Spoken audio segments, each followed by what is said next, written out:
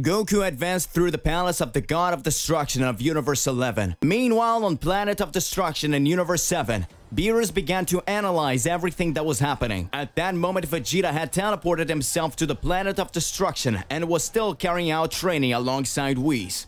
At that moment, Vegeta says, It's been a long time since Kakarot ended up leaving here. Does that mean he managed to get Beerus into a trap? Looks like things are going to get a lot more complicated around here, Mr. Whis. I don't know who is really right, but the God of Destruction decided to attack Kakarot, and Kakarot did nothing for them. We start talking. I understand, Mr. Vegeta, but it seems that the gods of destruction begin to have a vision of the Oracle Fish that a Saiyan could destroy everything in the future. They made an association that would be Mr. Goku, since because of him the Tournament of Power took place. That Tournament of Power caused great catastrophes and had great concern with everything that would happen. Mr. Goku managed to get stronger and stronger. He even managed to defeat Moro.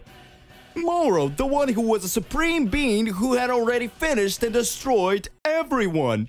That devourer of words, just like a god of destruction, Moro just swallowed planets. While the gods of destruction eradicated them. Now he wanted to overcome a god of destruction. He managed to raise his strength more and more until the moment he reached extremely scrupulous levels. But that wasn't enough for Son Goku. Son Goku managed to defeat him. Over time, we saw that Granola and Gas had requested to the dragons of their universes for them to become the most powerful beings in the universe. Even so, Lord Vegeta, you, alongside Goku, managed to become more and more powerful. Don't you find that a bit strange? Vegeta begins to reflect. At that moment, a loud bang starts to appear. On the planet of destruction, Vegeta starts to watch and says, What is this? At that moment, Whis starts to laugh and says, It seems like he's finally breaking free. A large crater opens on the planet of destruction, and at that moment, a large temporal rift opens in the sky. From this temporal rift, a transition of time and space appears, and who appears is Beerus, the Destroyer. And he says, Damn it, Son Goku! How dare you trap me in this empty dimension! I will destroy you! Hmm. Hey, how's it going? Just here to remind you to click the like button, subscribe here to the channel so you don't miss any videos and stay well inside our entire universe of Dragon Ball. Without further ado, let's get started. Beerus had gotten loose. At that moment, Vegeta starts to observe and says, Does it mean that Kakarot was able to trap Mr. Beerus the Destroyer in that empty dimension? this really is something unreal. Looks like things are going to be more complicated now. But Mr. Beerus certainly didn't want to kill Kakarot. If he used his Supreme Hakai form, he certainly knew what he could reach. He got his highest level. Beerus begins to observe and speaks. Wow, Whis, are you getting another Saiyan here?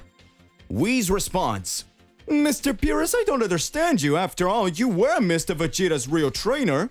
He learned Ultra Ego from you. At that moment, Beerus starts to reflect and says, Why am I doing this? I cannot understand. After I decided to make the decision with the gods, everything seems to go crazy. Beerus speaks. Vegeta! Get off this planet! I have nothing against you! At that moment, Vegeta starts to laugh and says, If Kakarot managed to trap you in another dimension, I will be able to do that too. After all, I am more powerful than that worm.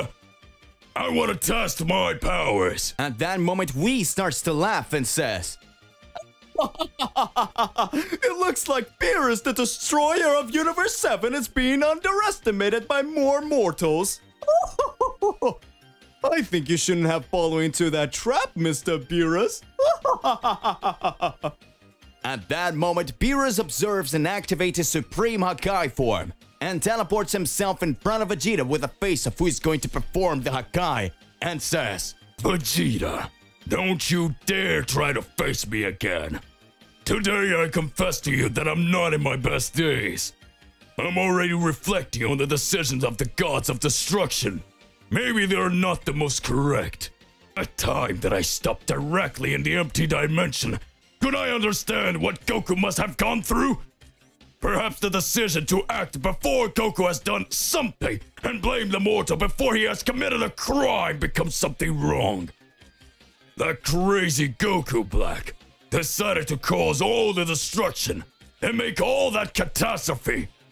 Being that he was Zamasu, as we learn of Zamasu's decisions for Trunks' future, we were able to finish him off in the present. But now, things are different. Goku is not wrong in the decision. That's why he fought against me without thinking of anything, without caring about anything. But I don't know. We don't know if Goku is turning to something good or bad. If it is something bad, then he is a target for all the gods of destruction. There are gods of destruction with weaker levels. But there are other gods who are stronger, more adulous. To get to them, things will be more intense. But now I can see. I can remember everything Goku did for those planets. All this time that I've been sleeping for 53 days. The Earth and every other universes pass through intense complications. Maybe it's time to return Goku a favor for what he did, without letting anything go unbalanced. I will train you one more time, Vegeta, and we will end this intrigue between the gods. Whoever it is, we are going to defeat the gods of destruction. Until the moment we find Goku in your journey. Vegeta begins to observe and speaks. That's the decision of the God of Destruction of Universe 7. Whis begins to observe and says, It seems like there's a drawback to every God of Destruction's decisions. Never imagined Beerus the Destroyer to be back against the Gods of Destruction for a mortal. Interesting. Vegeta begins to be excited and says, That's right. Now I will be able to test all my powers against the God of Destruction. At this moment on Universe 7, Goku walked through the next floor of the Palace of the Gods of Destruction Belmod. At this moment, Goku encounters himself with a known voice that says, I was waiting for you, Son Goku. Since the Tournament of Power. At that moment, Toppo from Universe 11, the successor of the God of Destruction, was in front of Goku. Goku smiles and says, I could have imagined that you would be here, Toppo. A new battle is about to begin. With the two smiling, they prepare themselves to the fight. To be continued. So hey, what do you believe and what do you imagine about all of this? Regardless of what it is, it is more than important that you arrive exposing it in your comments so that we can enter into that crazy debate. Don't forget to click the like button, subscribe here to the channel, and hit the bell so you don't miss any videos. And that's it for today. I'll see you in the next one. Goodbye.